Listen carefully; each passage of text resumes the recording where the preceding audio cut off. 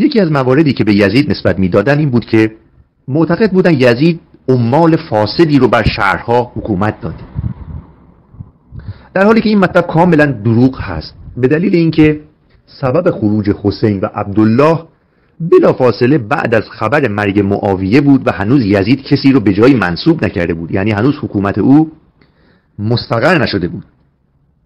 نکته جالبتر این هست که من با مطالعه کتب تاریخی به این مطلب رسیدم که اتفاقا والیان یزید در سال 60 همونهایی بودن که معاویه تعیین کرده بود. یعنی حاکم مدینه ولید ابن عقبت ابن عبی معیط بود حاکم کوفه نعمان ابن بشیر انصاری بود حاکم بصره عبیدالله ابن زیاد بود و حاکم حجاز امر ابن سعید ابن آس یعنی اینها والیان یزید بودن که همه اینها رو معاویه هم تعیین کرده بود. و قبل از در واقع معاویه هم اینها بعضا مصدر امور بودن. پس یزید کسی دیگری رو تعیین نکرد که بخواهد بهانه‌ای باشد. مگر جابجایی هایی که انجام می‌شد مثلا وقتی در کوفه خبر دادن که نعمان ابن بشیر با شیعیان مدارا می‌کنه او به خاطر کنترل اوضاع سعی کرد عبیدالله که والی بصره بود رو به طرف کوفه بفرسته. پس ما می‌بینیم این دلیلی که اینها آوردن کاملا اشتباه بوده. چون همه اینها در زمان معاویه هم بودن. پس کار دیگری صورت نگرفت. جالب این هست که در سال 61 و 62 هم والیان همونهایی هستند که معاویه تعیین کرده. حالا عده دیگر تغییر مکان می‌دیدن. مثلا گاهی مروان میآمد گاهی ولید می‌رفت یا حوزه های اونها متفاوت بود. اما والیان جدیدی نیامدن. سهل است که برخی از والیان او بسیار افراد مداراگرتری بودند نسبت به دوران معاویه از جمله عثمان ابن سعید که در مدینه بود. نکته دیگری که این دوستان اشاره می‌کنن این هستش که این افراد فاسدن. خب مگر در دوران خلفای راشدین افراد فاسد بر مستر امور نبودن؟ مگر در زمان ابوبکر افرادی مثل خالد ابن ولید که بسیار راحت انسانها رو میکشت مثل قبیله بنی جزیمه که مسلمان بودن یا مالک ابن نویره رو می‌کشه و بسیاری از افراد دیگر مگر اینها کسانی نبودن که حتی خشم عمر برانگیخته شد؟ یا در حکومت عثمان که بسیاری از بستگان او صاحب ولایات شدند دستاندازی در اموال مردم داشتند مگر اینها والی نبودند. در زمان عمر مگر مغیرت ابن شعبه و دیگران نبودند که به هر حال زنا می‌کردند شرابکاری می‌کردند مال مردم رو میبردند یا برای خود کاخ میساختند. یا در زمان علی که ما ذکر کردیم افرادی مثل نعمان ابن اجلان و عبدالله ابن زبیر عبدالله ابن عباس و اشعث ابن قیس کندی و بسیاری افراد دیگر نبودند که بخشی از اموال مردم رو میبردند. یا به نوعی دست در حرامخواری و این کارها داشتن. خب پس این قطعا در هر حکومتی وجود داره. پس ما نمی‌توانیم بگوییم که چون این اعمالی اگر انجام دادن همه اونها به پای یزید هست. اگر این گونه باشد پس باید شما اعمال خلفای دیگر رو هم از چشم بسیاری از والیان اونها ببینید که بر مردم ظلم می‌کرد. ضمن اینکه یزید عرض کردم هیچ کدام از این والیان رو به شخصه نیاورد بلکه کارآزموده دوران پدر بودند که مسلمانان اونها رو میشناختند و بر مستر امور بودند. اما دلایل دیگر. یکی دیگر از دلایلی که این افراد می آوردن این بود که یزید اهل شعر و آواز و شراب و این هاست خب اولا شعر که در طبیعت عرب وجود داشت و اتفاقا بسیاری از افراد مختلف تاریخ اسلام شعرایی رو در کنار خود داشتن. از جمله خود علی شاعری داشت به نام نجاشی که در ماه رمضان شراب خورده بود و علی صد ضربه شلاق به او زد و بسیاری افراد دیگر. پس اینکه یک نفر اهل شعر باشد چه ایرادی داره؟ خود علی هم بعضا به او برخی اشعار رو نسبت دادن. و به نظر اینها بحانه های بسیار ساده و ابتدایی است که چون چیزی پیدا نکردند بر علیه این مرد می‌خواهند او رو با واسطی چنین مواردی کوچک بکنند در حالی که امور حکومتی ربطی به این مسائل ندارد که ما بگوییم چون طرف میمونی دارد به نام عواقیس پس این میمون بسیار چیز بدی است این آقا نمی‌تواند حاکم باشد. در حالی که بسیاری از صحابه هزاران بار بدتر از یزید بودند و کارهایی رو انجام می‌دادند که شاید به نوعی دستاندازی به مال مردم به خون مردم و برخی از این مسائل بود. اما به دنبال این هستند که شرابخواری یزید رو برجسته بکنن. درسته در نظر مسلمانان شرابخواری عمل مزمومی بود. اما یزید هم کسی بود که سعی می‌کرد مراعات بسیاری از این مسائل رو داشته باشه. به عنوان مثال باز هم عرض می‌کنم که در زمان حکومت یزید برخی از مردم مدینه که بزرگانشون مثل عبدالله ابن حنزله و عبدالله ابن عبی امرو و جالبتر این هست که در بین اونها کسی به نام منذر ابن زبیر. این منذر کسی است که برادر عبدالله زبیر هست که به با یزید علم مخالفت رو برافراشته بود. این افراد به نوعی به دستبوسی یزید می روند و تبری آورده که این افراد وقتی وارد در واقع دارالاماره یزید می شوند یزید اونها رو نیکو می داره و حرمت اونها رو حفظ می‌کنه. و به هر کدام از افراد اونها صد هزار درهم هم عطیعه میده به علاوه مالهای دیگر. و نکته جالبتر این هست که همین افراد زمانی که یزید رو ترک می‌کنن و به سمت مدینه میآیند شروع می‌کنن به بدگویی از یزید و اشاره می‌کند که آنها در بین مردم مدینه اشاره می‌کردند که یزید دین ندارد شراب می نوشد تنبور می‌زند کنیزکان پیشوی می نوازند سگبازی می کند و با فرومایگان و بردگان و غلامان به صحبت می نشیند یعنی ببینید وجود خاکی یک انسان مثل یزید یه چندان احتمامی به جنگ با مردم ندارد و اشاره می کند که با غلامان و بردگان و به نوعی فرومایگان صحبت می‌کنه. خب چون اینها این کارا رو نمی‌کردن و در نظر اینها یزید انسان بیدینی بود. و بعد اشاره می کند که شاهد باشید که ما او را خلق کردیم. و این در سال 62 بود که قیام ابن زبیر در سال قبل شروع شده بود. خب یعنی ابن زبیر که قیامش آغاز شد یزید برادر همین آقا یعنی منظر رو میپذیره به او سله هم می‌دهد پاداش هم میده اما این افراد وقتی به مدینه می‌روند شروع می‌کنند به سعایت و بدگویی از یزید که بعد مردم مدینه میشورند شورش می‌کنند و به نوعی رفتار یزید هم با اونها جالب هست که من حتما این موارد رو باید امشب خدمت دوستان عرض بکنم. اشاره شد که وقتی این افراد به سمت مدینه رفتن و شروع کردن به تحریک مردم و بدگویی از یزید وقتی این خبر به یزید می‌رسه در وصف منظر ابن زبیر که برادر او قیام رو شروع کرده بود جمله جالبی میگه. می‌گوید که این رو هم تبری آورده.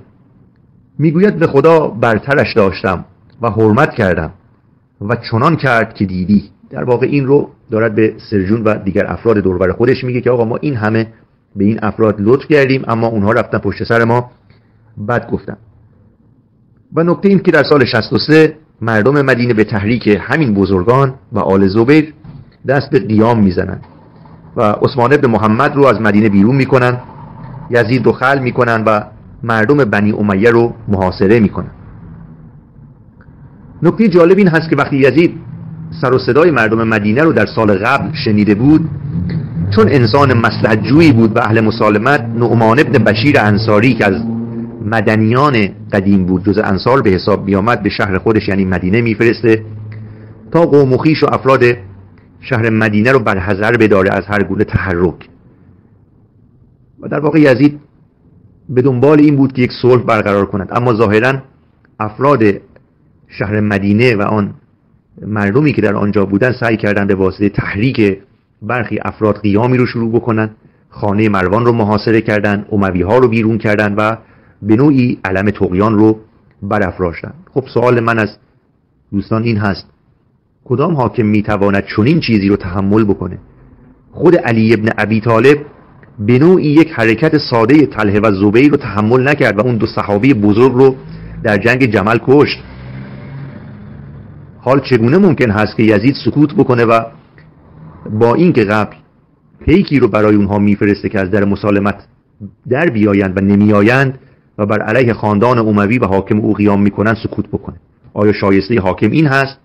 پس خواهیم دید که کاری که یزید کرد کاملا بر سنت پیامبر و علی ابن ابی طالب هم بوده و هر خلیفه ای در جایگاه او چنین می‌کرد. اما ادامه مطلب. در اینجا بعد از محاصره امویان در مدینه در واقعه حره مروان نامه می نویسه به در واقع یزید و وقتی پیک او می آید و به یزید بده تبری گزارشی داره که بسیار جالبه. حالا شما دقت بکنید این تبری قطعا یزید رو در برابر بقیه افراد دارای جایگاه پستری میدانه. اما سعی می‌کنه تقریبا منصفانه به غذایان نگاه بکنه و اینها رو میآورد. اما باز هم این ما هستیم که از دل کلمات باید تحلیل های درستی رو در بیاوریم. تبری اشاره می‌کنه می‌گوید وقتی نامرسان نامه رو به یزید می‌دهد در حالی است که یزید پایش را که ظاهرا دردی هم داشته در تشت آب نهاده بود. و می‌گوید وقتی یزید نامه را خواند بدین شعر تمثیل کرد. حالا شعرش چه بوده؟ می‌گوید بردباری را که طبع من بود دگرگونه کردند. من نیز به جای نرمش با قوم خیش خشونت پیش می‌گیرم. پس ببینید این کاملا گواه این هست که خود یزید قصد فرو نشاندن شورش مردم مدینه رو نداشته. شما رو ارجاع میدم دوستان عزیز من اون شیعیانی که یزید رو بد می‌دانید به سرکوبی بسیاری از شورش هایی که در زمان علی انجام شد در ایران در ری استخر فارس و علی سردارانی مثل جعدت ابن حبیره مسقلت ابن حبیره شیبانی معقل ابن قیس. و بسیاری از افراد همچون زیاد ابن عبیه رو میفرستاد تا این مردم ایران رو سرکوب بکنن. حال شما نگاه بکنید یزید همچون این کاری کرده. ضمن که با هزاران اختار با پیش فرستادن نعمان ابن بشیر مبنی بر اینکه این مردم دست از این کار بردارید. آیا یزید به سنت علی عمل نکرد؟ تاریخ گواه این هست که یزید بسیار بردبارتر از علی بوده. که مردم بیگناهی رو در نهروان سر می‌بره و لذت هم می‌برن. خب. بنابراین این شورش مردم مدینه موجب شد که یزید سپاهی رو به فرماندهی مسلم ابن عقبه مری به سمت مدینه بفرسته. اما هنوز اسناد دیگری دارم تا به عنوان وکیل مدافع یزید که به عنوان شیطان هست از او استفاده بکنم در دادگاه تاریخ. نکته این هست که یزید وقتی مسلم ابن عقبه رو میفرسته سفارشی به او می‌کنه. و این سفارش آمده باز هم در تاریخ تبری و در بقیه کتب تاریخی. می‌گوید قوم را سه روز دعوت کن. یعنی نمیگه که خب دیگه تمامه. حالا شورش رو کردن دیگه بهانه هم دست من هست مثل مولا علی. بلکه اشاره می‌کند که قوم را سه روز دعوت کن. اگر پذیرفتند که بهتر وگرنه با آنها بجنگ و چون غلبه یافتی مدینه را سه روز به سپاهیان واگذار و هرچه در آن از برده و مال و سلاح است از آن سپاهیان باشد. و چون سه روز به سر رفت از مردم دست بدار.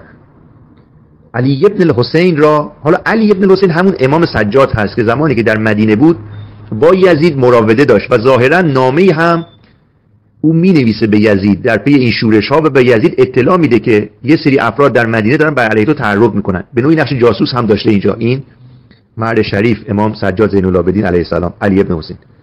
بعد اشاره می کند که علی ابن حسین را ببین و دست از او بدار. یعنی با او کاری نداشته باش.